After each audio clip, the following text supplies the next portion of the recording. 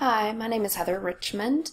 In this video, I'm going to talk about quantum healing hypnosis technique and just sort of distill down some of the basics. Um, if you look on my website, there's quite a bit of information. Um, certainly, if you Google QHHT, you will find a bunch of information that is um, potentially a bit overwhelming. So I wanted to go ahead and just make this quick video to explain everything in a more succinct fashion, hopefully. And we'll talk about um, also what a session with me specifically will entail. Okay, so firstly, um, what is QHHT? Um, if you've made it this far, if you're, you know, even watching this video, you probably have heard me talk about it, and so you probably know that it does stand for Quantum Healing Hypnosis Technique. Um, and this is really the part of yourself that when you are able to move your ego aside, um, the ego is not the enemy, but sometimes the ego does need to be moved aside so that you can examine yourself on a deeper level. So once you can do that, once we can work together through hypnosis to do that, um, you can access what is called the superconscious, or maybe some people call it the oversoul or the higher self. Um, some people just call it the soul. Whatever you choose to call it. Essentially, it is um, the part of yourself that will lead you to um, the deepest understanding about what it is that you want in life, what it is that you truly are quote unquote meant to do. Um, now, it, the superconscious may not come right out and say, okay, your life purpose is to be a nurse or, you know, whatever, but um, it will give you enough because that's you know your own free will but it will give you enough information for you to begin examining these things that you truly want in your in your heart um, and you can integrate those things with you know your ego and the things that you do on a day-to-day basis you know who you are on a day-to-day basis and sort of marry those two things the the wants of the heart and the thoughts of the mind. And so you can find a balance of the two to sort of work together that ideally. Um, that is a process. So there are two components of qhht number one if you look on most websites, um, particularly if you look on the official QHHT website, it will only discuss the guided past life regression, um, which is very helpful. Um, and traditionally, that's how um, it has been done. QHHT um, was developed by a woman named Dolores Cannon and um, for this has been about 45 years ago. She was a traditional hypnotherapist and she sort of accidentally discovered QHHT and discovered, you know, she was with one of her her clients and um, this this woman suddenly went into past lives. Um, and she she Dolores Cannon just continued working with her client and um, found out that this this woman had had you know many past lives and um, that she accessed the superconscious over various sessions and she was able to talk about um, these things that I just discussed her you know deepest desires and and what her purpose was and all of that. And so you know upon discovering that she was uh, intrigued, of course, and so she worked for Dolores Cannon worked for over um, over 40 years to perfect the process. And um, for the very most part, she guided people through their past lives. However, as she began to, in the later years, she's pat, she's passed now, but um, in her the later years that she was um, using this method, on people and she became increasingly you know notable for this and published many books um, she began to notice that people weren't simply going into past lives only anymore um, there were some people that were um, their superconscious wanted to show them perhaps life in another dimension. So this would probably be typically for people who are a bit more spiritual um, and may have um, you know knowledge of meditation or astral travel or anything like that. But you know i'm certainly it's a possibility that um, even if you have no experience with those things that you might find yourself in another dimension. Who knows? Um, and um, also it's a possibility that you can find either parallel lives, which is a little, um, that's probably one that's a bit more advanced as well, um, or a future life. And that one's probably more common. Um, so, you know, you might examine what your life will look like in the future. And if you want, um, you can observe um, the day of your passing, the, last day of your life. However, um, it, it may not, um, you will be just the observer, and, um, you know, we will sort of go through this process and um, together, and I will you know certainly use professional judgment and you can guide yourself the the superconscious will not show you anything that is going to be um, harmful to you. It will show you only things that are going to be helpful. So you're not going to see the, it won't show you the last day of your life if it's, you know, traumatic or like, uh, you know, you're um, dying in some sort of very, uh, you know, terrible way. So, um, anyhow, so those are the two components. And like I said, you have some flexibility on whether, oh, excuse me, I did, I did not, um, explain the second part. So the second part is the direct superconscious access and questioning. So after you have examined these um, past lives or parallel lives or um, future lives, um, you then can access the superconscious directly.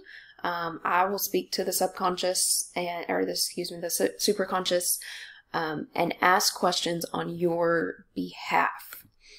So, um, of note, it's very important to remember that um, you are guiding this process. I'm only acting as the facilitator to help you figure out um, these questions or answers to these questions. So you should first and foremost prepare a list of questions that you want answered during the session. Um, a good range to shoot for is going to be 20 to 30. Um, you'll bring those in. Those can be questions about your life, your, you know, your current life, um, as it relates to your family, your career. It can be questions about your life purpose so that you can find a little bit of direction. Um, or it can be how, um, any of your relationships in your current life uh, may have manifested in any past lives. So, you know, you can potentially ask, um, you know, did I have a past life with my husband? Or, you know, whatever. Um, and you can find out, you know, if there's any sort of like karma that needs to be worked out or whatever the case may be. Okay. Um, Additionally, it is also possible for you to bring a list of physical health conditions that you want to find a better understanding about. Um, this can be, you know, any sort of malady that is expressed in the body as, um, you know, typically our our bodies will send us um, physical health conditions that um, are a signal that something needs to be healed and I don't mean just physically. Um, it, it is related in some form or fashion to your mental and emotional health. So, um, you know, if you look on the QHHT website, you'll see um, that Dolores Cannon was, um, you know, very interested in investigating this for, you know, providing sort of immediate healing during the process. Um, that is certainly a possibility. Um, but I think for me during the session, um, I will focus more on helping you to connect the emotional wounds um, to you know, sort of how those have manifested physically. And you are the one who can find healing through that, hopefully. All right, so during the session, um, when you arrive, you want to make sure that you are well rested. Um, no, please no partying the night before. Um, and you definitely want to avoid um, alcohol the night before and the morning of. Like if you have your cup of coffee every day, certainly don't skip that because you don't want to, you know, have a caffeine withdrawal headache. But like you don't want to just go overboard, you know, don't go out and get three or four Red Bulls or whatever. Um, so you just want your both your mind and your body to be um, truly, you know, open and prepared for the process. Um, and so, as I, you know, mentioned here, most importantly, truly you have got to have an open mind. Um, I'm a very firm believer in the idea that our thoughts create our reality, and as you, if you choose to, um, progress down a um, a path of examining yourself, you will see that more and more. Um, and so, you know, if you come in and you know for whatever reason you have it in the back of your mind, oh, this is not going to work for me it won't. Your superconscious is aware of your doubts, and um, it's not to say you won't go into hypnosis. You may or you may not, but um, it it will not provide you with as deep um, of insight, uh, with deep deeper insights about yourself um, that you could get if you had a truly open mind. So just be allowing as much as possible. You know, um, allow for the fact that anything might happen. Um, it, it's best to sort of avoid any like preconceived notions. Okay, so during the actual session, first we will spend, and this is going to be in total, this entire process will likely be four to six hours. So, um, you know, it's it's recommended that you don't really plan anything big during the day myself, I would recommend that you do not plan anything that is emotionally um, taxing um, later in the day because this process is pretty, um, you know, it's pretty intense. So, um, you know, that's up to you, but that's my recommendation. Certainly not beforehand, um, but I would recommend not not after either. Just just kind of plan on going home and, and relaxing and taking time to process all this. So the first part of your session for the first hour or two, um, we will just simply sit down and talk, and I will hear anything you want to tell me. Um, I am your captive audience at that point, and um, you can tell me you know, anything that you're currently sort of concerned about. Tell me about your reasons for coming and investigating QHHT in the first place. Um, and then it is also very helpful, not that you have to give me names or specifics, but I do need to know um, particularly if I'm going to be asking questions while you're under hypnosis about these people. I need to know sort of the important players in your life and maybe any important events in your life that are happening now or that have happened in the past. Um, then we will transition to um, going over those question, questions that you've brought in, and I'll make sure that I'm 100% clear on what it is that I'm to ask the um, the superconscious once you go under hypnosis. Um, because obviously at that point I cannot ask you for clarification. So I just want to be sure that I understand what it is that you're you're looking to find out. Um, then we will transition into the um, the hypnosis portion, and this can last up to two hours um, as per the you know sort of official process as developed by dolores cannon. Um, she highly recommended that no one be left under trance under hypnosis um, longer than two hours. So we will confine it to that. Um, so i'll guide you into this trance-like state um, and this will put you in the theta brainwave state. And this is the deepest level of trance that you can get into. Um, and it, if you think about how you feel um, just before you go to sleep each night and right after you wake up, um, you are typically going to be more um, open. Um, you might say things that, you know, are just sort of on your mind without that filter. Um, so this will be much like that. Um, and I will link a um, a sample video or yeah, a sample video of um, a recording of one of these in the um, description so that you can kind of get an idea of what this sort of will be like. Um, so then we will bring you out of hypnosis and we will go over anything that you want to go over. Again, you are guiding this process truly. Um, and so, um, you know, some people have memory of the time that they were under hypnosis, others do not. And so you may not have any questions at this point because you may not have memory of it. But then again, it's entirely possible that you will. Um, so if you don't have any, you know, particular memory of it, then um, it will be necessary for you to um, listen to the, the recording first. So let's talk about the two sections that take place during your time in hypnosis. Um, so the first part of your time during the tra- in trance, um, you will examine any past lives that you may have lived that can lead you to some sort of deeper insight. Um, or as I mentioned before, this could be, you know, this could look like life in other dimensions. Um, you could examine, you know, parallel lives or perhaps your future life. Um, so again, just be allowing and understand that your superconscious will take you to the most appropriate time and place.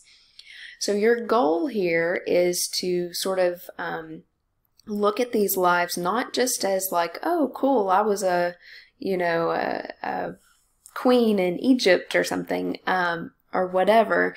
Um, but your goal is to truly look at these lives and understand what your um, what you're trying to be, what the lesson is that you were supposed to learn from each of your lives.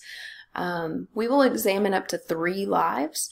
Um, just because the process can get kind of bogged down if you try to do any more. And you really want to focus on um, you know just a, a minimal amount um, so that you can really process that information. But you may not even have three. So it just depends on what your your super conscious wants to show you so um, as we are looking at these things, I will supplement, I, will ask you questions um, to sort of move you along through the process um, and guide you, move aside your ego, help you move aside your ego if that's needed, um, whatever the case may be. So then the second part is going to be the superconscious access. So um, this is where I will be asking you those questions that you brought to the session. Um, and we will I'll supplement those with my own questioning so that when you go back and listen to these to the recording of your session um, you can achieve the greatest degree of understanding. So you know that way like if if your super conscious says something if you say something that is um, unclear to me or I don't think you're going to understand it um, fully. I will ask for clarification um, until we, you know, are able to achieve a, a reasonable amount of understanding on that. All right, and so then after your session, I will send you an audio recording. Um, you should really it is highly recommended that you not listen to this while you're driving. Um, i would say the reason for that is twofold. Um, not only could you potentially go into a trance-like state again um, but moreover um, it, it could be you know emotional listening to these things because it's going to bring up a lot of you know, wounds potentially um, that you'll need to work on healing, integrating and healing. And so I would not recommend listening to it while you are operating heavy machinery. Um, but when you get home, sort of take a little bit of time to, um, you know, eat, um, you know, maybe go outside for a little bit, enjoy, you know, some peace and quiet. And then at that point, once you have kind of cleared your mind again, um, you should listen to the recording. And then over the next few days, you want to listen to it again at least a total of three times. And truly, um, each time that you listen to the recording, you're going to receive better insight um, and a sort of a deeper perspective on the things that your higher self has has shown to you and has told to you, or your superconscious. Um, so you know, I, I would say it's probably best to wait a day or two in between listening to each, in between each listening, um, because again, some of that, the information that you will get, um, it needs time to process in your mind. And then, if you choose at a later time to come back for a follow up session, um, that is called Beyond Quantum Hypnosis. BQH. Um, and this is a time where we can, sort of like the first part of your session, um, your QHHT session, we can sit down and we can talk about how having this information, um, you know, affects your life now, how that has changed your perspective, because it will, um, and discuss any ways that you can talk about this to your family and friends. And I think that's key.